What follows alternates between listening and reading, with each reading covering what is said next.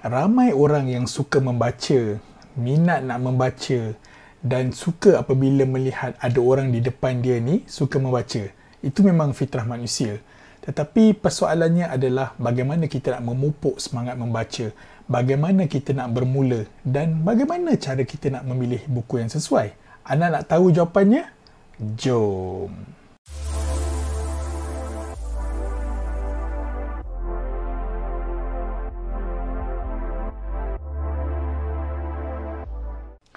Assalamualaikum warahmatullahi wabarakatuh dan salam sejahtera. Anda bersama dengan saya di channel YouTube Dr. Hamimi.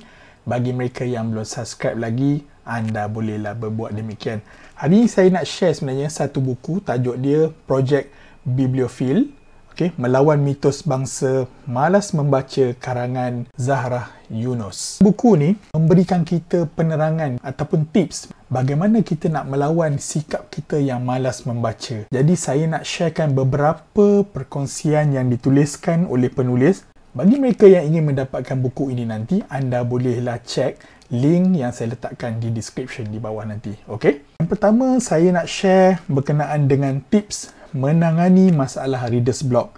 Okey, reader's block ni adalah kalau biasa orang yang menulis mereka menghadapi masalah writer's block ataupun kata orang kebuntuan idea untuk menulis. Tetapi reader's block ini adalah kebuntuan apa yang nak dibaca ataupun jenis bacaan yang macam mana yang nak dibaca. Kalau anda merasakan perkara tersebut, segeralah bertukar kepada buku yang lain. Tips daripada penulis yang pertama, kita perlu memilih buku yang nipis dan mudah dibaca. Jangan terus pergi pada buku yang tebal. Ia akan memudahkan kita untuk menghadam isi kandungannya. Yang kedua, baca buku penulis atau genre kegemaran.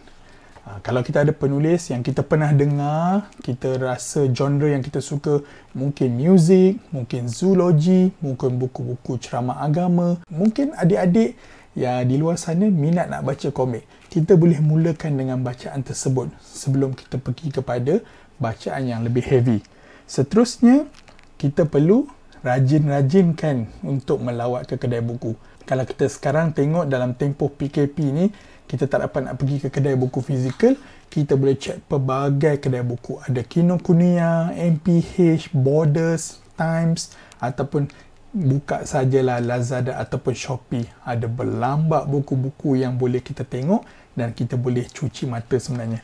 Seterusnya adalah kita sertai kumpulan buku. Kumpulan buku yang dimaksudkan di sini adalah support group yang ada. Di Facebook ada, di Instagram ada. Di situlah kita akan dapat pelbagai maklumat berkenaan dengan buku. Harganya, desain, kemudian pengisian dia, kemudian apa yang dibincangkan, idea-idea yang menarik. So, perkara-perkara inilah akan menjadikan kita lebih semangat sebab kita ada support group di kalangan pembaca-pembaca tegar juga. Yang terakhir, sekiranya kita mengadu, kita ni sangat sibuk dengan kita punya rutin harian, kita selesaikan dulu kalau kita ada nak buat study ke kita nak makan dulu kita nak buat kerja di rumah kita selesaikan dulu perkara-perkara tersebut barulah kita pergi kepada uh, pembacaan buku yang ingin kita buat so bila kita amalkan tips-tips ni insyaAllah dia akan mengelak apa yang disebut tadi sebagai reader's block seterusnya saya ingin berkongsi di muka surat 45 penulis berkongsi berkenaan dengan tip-tip membeli buku. Ha, ini menarik ni sebab kita, ramai yang bertanya sebenarnya macam mana uh, tips nak membeli buku untuk bagi mereka yang nak menjadi pembaca pemula lah. Jadi tip membeli buku yang pertama kita senaraikan dulu buku yang ingin dibeli. Ha, jadi tak adalah kita macam cari-cari buku apa yang nak dibeli sebab kita dah senaraikan. Bagaimana kita nak senaraikan? Kita boleh tengok sebenarnya tips-tips yang ada di internet berkenaan dengan buku-buku yang ada di pasaran. Sinopsis ataupun perkara berkenaan dengan isi buku ni bukanlah satu yang sukar untuk kita dapatkan daripada internet.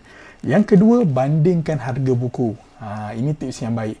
Satu buku tapi kita tengok yang dikeluarkan oleh publisher uh, mereka ni menjual dengan harga yang berbeza. Ada yang markup harga ada yang murah ada yang diskaun. So kita bandingkan dulu. Kalau kita lihat di Shopee ataupun di Lazada kita boleh membandingkan uh, daripada segi penghantarannya daripada segi harga buku tu sendiri. Dan kita boleh memilih yang sesuai dengan kita punya bajet dan wang yang ada di dalam dompet kita. Yang ketiga, kad ahli, membership card. Ada kedai buku sebenarnya yang tidak mengenakan charge pun untuk kita menjadi ahli ataupun membership kepada uh, kedai buku mereka itu.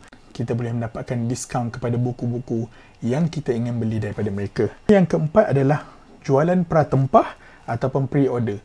Bermaksud sebulan ataupun dua bulan sebelum buku tu diterbit, mereka dah mengumpul order dah pre-order ataupun pratempah ni.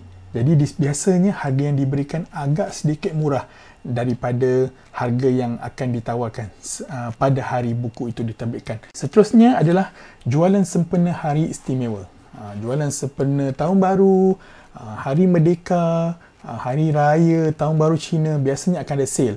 So kita simpan duit untuk kita tunggu hari-hari istimewa perayaan begini supaya kita boleh dapat harga yang murah. Christmas contohnya uh, menjanjikan sales kepada buku-buku yang kita suka ni. Yang seterusnya adalah kedai buku dalam talian ataupun fizikal.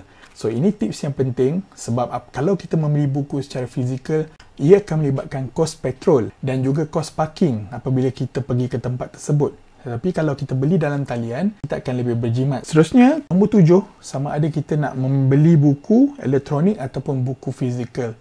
Kalau kita beli e-book, biasanya harganya akan lebih murah daripada buku fizikal. Tetapi ada juga daripada mereka contohnya saya sendiri walaupun ada e-book kadang-kadang ada buku yang saya ingin juga ada dalam bentuk hard copy ataupun dalam bentuk bercetak sebab ia menjanjikan satu kepuasan kepada pembaca sendiri. Dan yang terakhir adalah kita juga boleh consider ataupun memilih untuk membeli buku terpakai.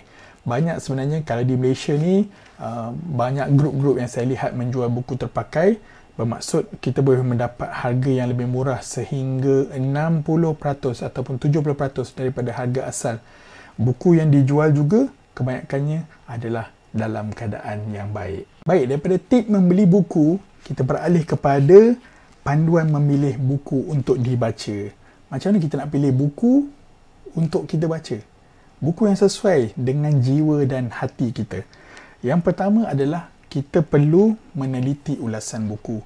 So banyak sebenarnya di internet kita boleh lihat daripada Goodreads, daripada Amazon, ulasan-ulasan yang diberikan oleh pembaca-pembaca yang telah membaca buku tersebut.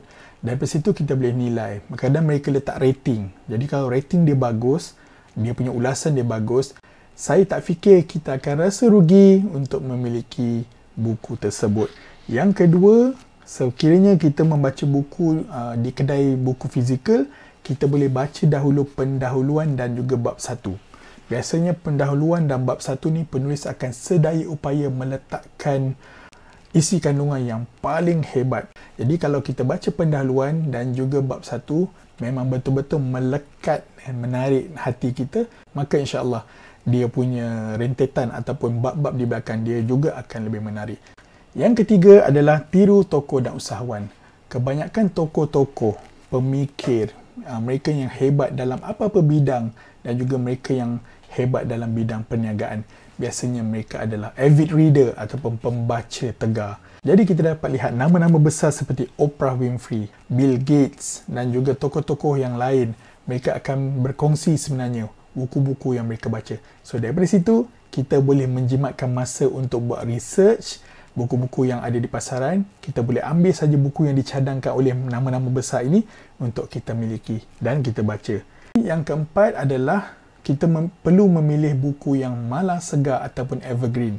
Ada banyak sebenarnya buku-buku yang daripada dulu sampai sekarang ni masih lagi dibaca. Contohnya buku-buku yang ditulis oleh Buya Hamka daripada dulu sampai sekarang masih lagi cetakannya diteruskan kerana buku ini adalah buku yang bersifat malas segar. Seterusnya adalah buku adaptasi filem. Ha, siapa yang minat movie, maka kita boleh dapatkan buku yang berkaitan dengan movie yang kita dah tengok tu.